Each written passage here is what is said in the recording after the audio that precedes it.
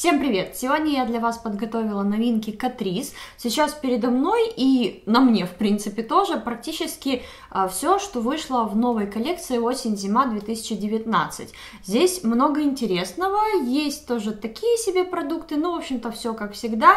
И хоть я и достаточно долго болела и пропустила много выпусков у себя на канале, но я сейчас вот стараюсь вернуться в полную силу, и я надеюсь, что мы с вами все переберем, потому что в бюджетном сегменте вышло огромное просто количество косметики. Тут и Essence, и Catrice, и Golden Rose, и каких брендов только нет.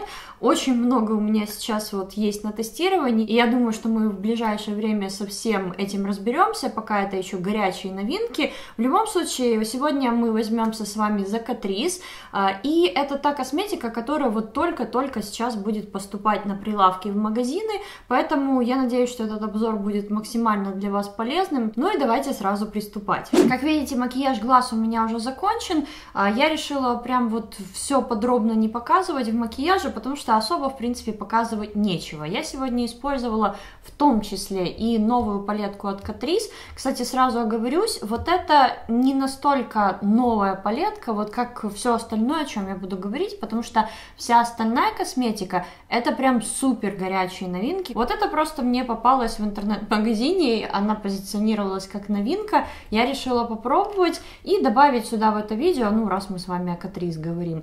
Но палетка меня ужасно разочаровала. Вообще в интернете она выглядела гораздо более привлекательной. Вот эти два оттенка выглядели темнее. И мне показалось, что с помощью этой палетки можно сделать полноценный макияж.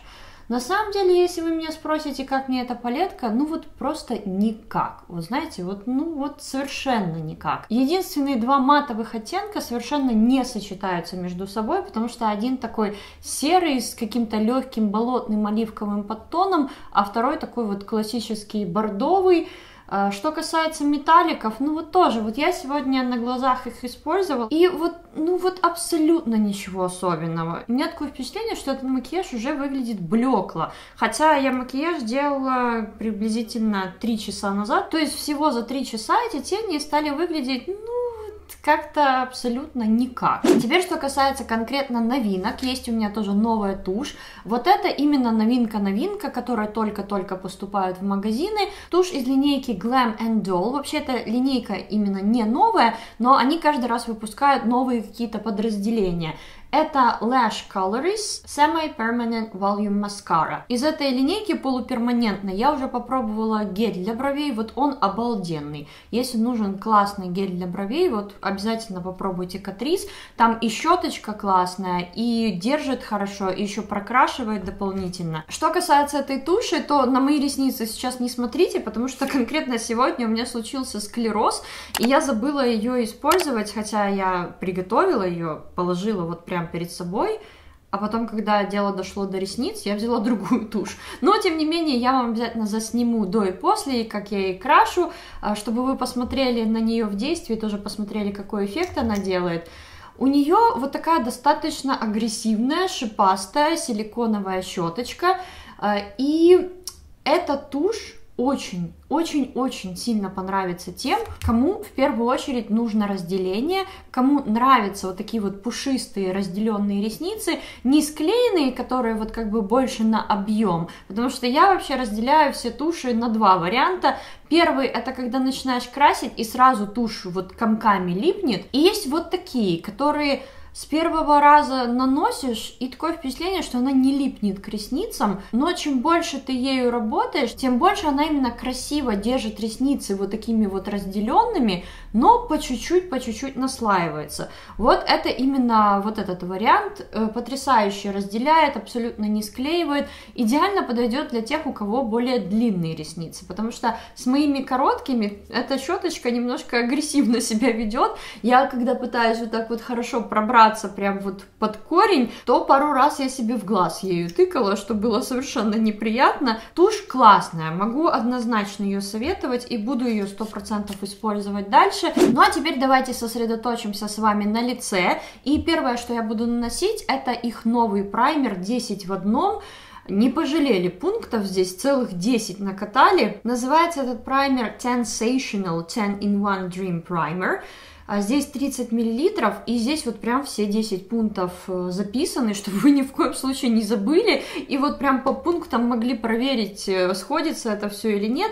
В общем, это праймер, увлажнение, эффект сглаживания морщин, натуральное сияние, против загрязнения окружающей среды, антиоксидантное действие, сглаживание пор, сглаживание оттенка кожи. Ну, здесь я не совсем согласна, ну ладно. Также сглаживание недостатков и защита от ультрафиолета SPF 15. Я вообще, когда вижу вот такой вот комбайн все в одном, а, во мне включается огромный скептик, я думаю, ну, что, реально вот вы сделали такой вот продукт, который вот прям 10 в одном. Я заглянула в состав, здесь основное действие конечно, идет за счет э, силиконов, ну вот это вот все сглаживание и так далее, но тут в очень большой концентрации тоже не ацинамид, за что им огромный плюс. И вообще я специально оставила этот праймер и хочу сейчас нанести его на лицо, чтобы вы посмотрели, вот это единственный праймер из бюджетной категории, который мне действительно понравился как вот такой вот, знаете, все в одном. То есть он и сияние реальное добавляет на лице, то есть не эффект такой живой статуи, когда вы просто металлик какой-то наносите на лицо, а реально появляется свечение, красивое свечение на лице, при этом продлевается стойкость, сглаживается действительно текстура лица. Вот Практически по всем пунктам я действительно с ними согласна, за исключением, наверное, вот единственного пункта, вот этого восьмого, что он выравнивает общий тон лица. Здесь я не согласна, потому что, ну, все-таки это праймер, это не тональная основа. Как видите, он такого вроде бы как телесного оттенка, но в то же время он, когда растушевывается, то становится прозрачным на лице. И вот смотрите, я сейчас его нанесу. Я хочу, чтобы вы посмотрели на эффект от него. Очень приятный такой цветочный аромат. Я абсолютно не ощущаю какого-то силиконового, такого, знаете, скользкого, противного слоя на лице. Вот очень приятно. Такое впечатление, что я просто увлажняющий крем нанесла. И вот я не знаю, смогла сейчас камера передать этот эффект или нет, но кожа у меня гораздо более светящаяся, текстура сглажена, поры как-то немножко заблюрены. В общем-то, мне очень понравился эффект от этого праймера. Тональную основу Catrice новую не выпустили, поэтому я за кадром нанесла уже то, что было у меня в коллекции. И мы с вами можем дальше продолжать оформлять лицо, потому что следующий продукт, который я хочу вам показать, это тоже новинка палетка, которая называется Luminize Highlight and Bronze Glow Palette. У меня конкретно это номер 20, который называется Feel Good. И 20 номер это именно палетка двух хайлайтеров и бронзера, потому что у них есть, по-моему, еще 10 номер, и там а, вместо бронзера румяна. Здесь вот этот бронзер достаточно светящийся, и если для лета это актуально, скажем так, то для осени, ну, я не совсем уверена, насколько это актуально будет. Ладно, давайте давайте чисто в качестве демонстрации я вот сейчас нанесу вот этот бронзер на лицо. Сейчас у меня на скулах вообще абсолютно ничего нет. Ну вот как-то так этот бронзер выглядит. Надеюсь, вам сейчас видно. Во-первых, он очень светящийся, такое впечатление, что у меня уже хайлайтер тут нанесен, хотя нет. А ну-ка я сейчас попробую еще свет немножко приглушить. Может быть вот так вот будет еще лучше вам видно. И тут настроечки подковыряю. Так, нет, нет, вот так.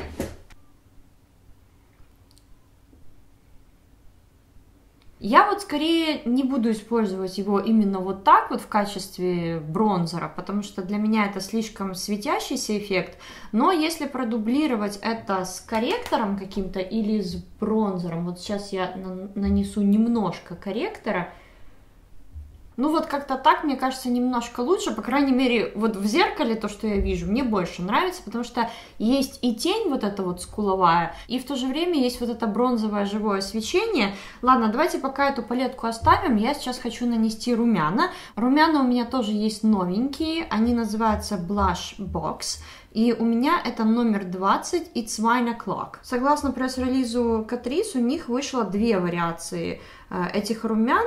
Э, вот эти более такие, как сливово-розовые. А еще у них есть второй вариант, он такой какой-то кораллово-розоватый, более яркий, вот этот более приглушенный, мне кажется, на осень-зиму, кстати, вот этот вариант более подходящий. Но здесь, как всегда, хозяин-барин, что кому нравится. Румяна, кстати, тоже очень пигментированные, вот я так набираю на кисть, потом несколько раз снимаю, а потом только начинаю наносить, и то, в принципе, вот я вижу сразу, как переносится пигмент. Эффект от этих румян такой действительно зимний, морозный, я бы сказала. И мне кажется, вам опять сейчас просто абсолютно ничегошеньки не видно. Поэтому я снова прикручу тут настроечки. Вот, надеюсь, что так вам будет лучше видно этот оттенок румян.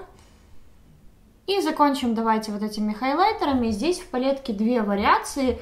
Один хайлайтер очень деликатный, прям практически матовый, еле-еле такой сатиновый эффект он дает, и второй более насыщенный. Я предлагаю начать с вот этого, который более деликатный. Вы посмотрите, как он добавляет какой эффект.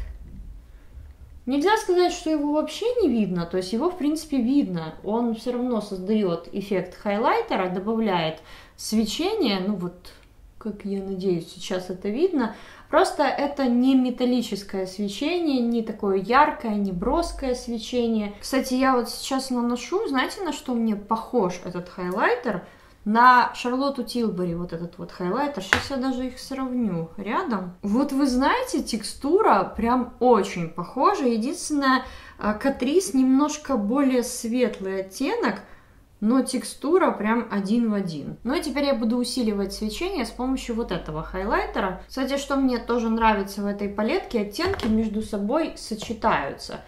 То есть нет такого, что бронзер там какой-то с красным подтоном, а хайлайтер а, ярко выраженный какой-то желтый, как иногда, кстати, бывает в разных палетках, что меня всегда дико раздражает просто. Но вот этот, да, он такой более насыщенный, то есть это уже именно скорее ближе к металлику эффект. Ну и мы с вами почти закончили, у меня осталось только три продукта для губ. Это три новинки. А, первое, что я буду вам показывать, это, наверное, будет вот эта вот помадка. Она называется Lip Glow Glamorizer. И выпущен был один единственный оттенок, номер 10, One Gold Fits All. Вообще, я когда впервые попользовалась этой помадой, она мне очень сильно напомнила ту, которую я очень люблю в последнее время. Это помада от Lancome. Естественно, гораздо более дорогая версия. Называется L'Absolu Mademoiselle Shine.